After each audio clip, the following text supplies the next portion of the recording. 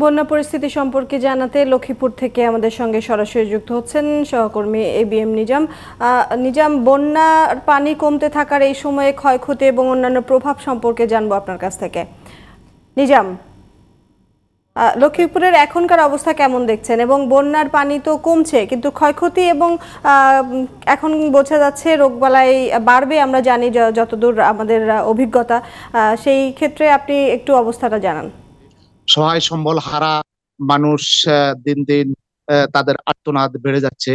তবে এই ব্যাপারে, এই বিষয়ে সবচেয়ে বেশি ক্ষতিগ্রস্ত হওয়ার সম্ভাবনা রয়েছে যাদের কাঁচা ঘর বাড়ি রয়েছে তাদের যখন এই পানিটুকু সম্পূর্ণ নেমে যাবে, তখন তাদের কাঁচা ঘর বাড়িগুলো বিধ্বস্ত হওয়ার আশঙ্কা আশঙ্কা রয়েছে। তো এই দুর্গত এলাকার লোকজনের মাঝে নানা রোগ ব্যাধি ছড়িয়ে পড়ছে, যেমন ডায়রিয়া আমশা এবং চর্মরোগ সহ নানা রোগ ছড়িয়ে পড়ছে। তবে এই বিষয়ে স্বাস্থ্য বিভাগের পক্ষ থেকে ষষ্ঠী টিম টিম গঠন করা হয়েছে যাদের দুর্গত এলাকার লোকদের মাঝে স্বাস্থ্য সেবা দিয়ে দেওয়া দেওয়া যায়। তবে আমি কথা বলেছি আহমদ কবিরের, সিভিল সার্জন আহমদ কবিরের সাথে, তিনি আমাকে জানিয়েছেন এই পর্যন্ত জেলায় মাত্র পঞ্চাশ হাজার ওরসেলাইন এবং পঞ্চাশ হাজার পানি বিশুদ্ধকরণ ট্যাবলেট বিতরণ করা হয়েছে। তবে প্রয়োজনের তুলনায় ওষুধের স্বল্পতা রয়েছে।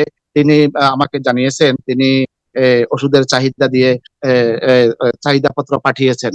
এছাড়া আমার এছাড়া জেলা প্রশাসন জেলা, উপজেলা প্রশাসনের পাশাপাশি বিভিন্ন স্বেচ্ছাসেবী সংগঠন, ছাত্র সংগঠন এবং বিভিন্ন প্রতিষ্ঠানের পক্ষ থেকে ত্রাণ বিতরণ অব্যাহত রয়েছে। আমি কথা বলেছি জেলা প্রশাসক সুরাইয়া জাহানের সাথে। তিনি আমাকে জানিয়েছেন, নতুন করে আরও বিশ লক্ষ টাকা মন্ত্রণালয় থেকে দুর্গত এলাকার বাসিন্দাদের জন্য বরাদ্দ দেওয়া হয়েছে।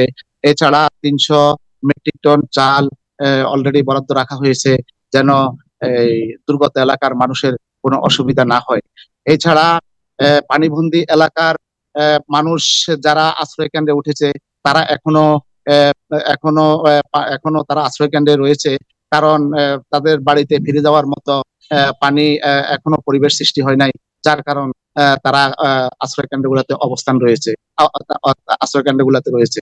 এছাড়া জেলার উপর দিয়ে বয়ে যাওয়া রহমতখালী খাল ডাকাতিয়া খাল, বুলুয়া খাল এবং রামগঞ্জের বীরেন্দ্র খালগুলো দখলমুক্ত করার জন্য স্থানীয় লোক প্লাস প্রশাসনের পক্ষ থেকে দিন রাত দিন রাত পরিশ্রম করে দখলমুক্ত করার জন্য চেষ্টা চালিয়ে যাচ্ছে। এছাড়া আমি আপনাকে আরেকটু জানিয়ে রাখি, এখন আমন উৎপাদনের পর্যাপ্ত সময় আমনের বীজ বীজতলাগুলো একেবারে বন্যার কারণে সম্পূর্ণ নষ্ট হয়ে যায়। নষ্ট হয়ে যাওয়ার কারণে এই বছর আমন উৎপাদন নিয়ে কৃষকরা শঙ্কায় রয়েছে। এছাড়া ক্ষয়ক্ষতির পরিমাণ নিরূপণ করা না গেলেও অনেক মৎস্যচাষী জানিয়েছেন যে তাদের মৎস্যগেরের হাজার হাজার কোটি টাকার মাছ নদীতে চলে গেছে। এছাড়া জেলার আহ, রহমতখালী খাল আহ, হাজিমারা খাল এবং রামগতির খাল সহ সমস্ত খালের পানিগুলা যেন দ্রুত সরে যায় যার তার জন্য মৌসুদিরা sluice gate Hajimara sluice gate এবং রামগতি স্লুজ গেট পানি উন্নয়নের বোর্ড সার্বক্ষণিক খোলা রাখার ব্যবস্থা রাখা হয়েছে। পাপন, এই ছিল আমার কাছে লক্ষ্মীপুরের বন্যা পরিস্থিতির সর্বশেষ খবর। পাপন। নিজাম, আপনাকে ধন্যবাদ।